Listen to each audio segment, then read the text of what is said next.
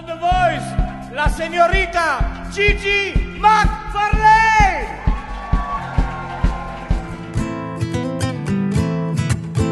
You're giving me the black, the white, the left, the right, the side to side, the gold, the spark tonight. Could you tell us, Gigi, how you got into live music and performing? I wasn't looking for it. It actually came to me because I was working at a restaurant and I was doing like extra hours at night, and there was a live band there. And when they were done, I just like started singing with the guy on the piano and stuff. And when I turned around, the boss was there and said, "I want you singing here every weekend." And I was like, "All right." Um, okay. it started next week. I was like, everything went so fast. You're giving me power. I I, um, I'm very lucky. Burning, burning, burning, burning, burning. Now we're so hot, hot, hot.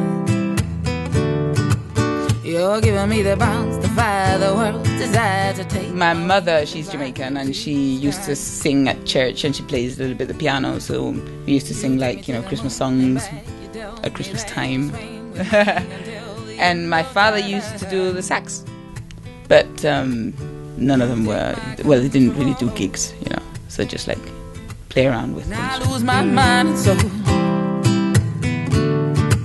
And you take my body. Um, any plans to? You have a record out. Are you? Do you have plans to go beyond that, uh, like in another format, perhaps? Um, I think the next record would be different songs. If I do something more like produced music, you know, because um, my first record is just me with my guitar. Because I wanted to be, I want to show the world what is just me, you know, naked. Well, you know, musically.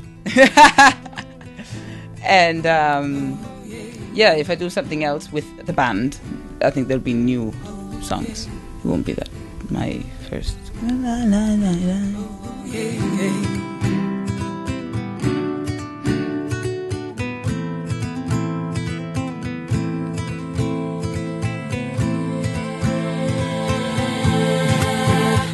Giving me the bounce, the fire, the world's desire to take my wings and fly up to the sky.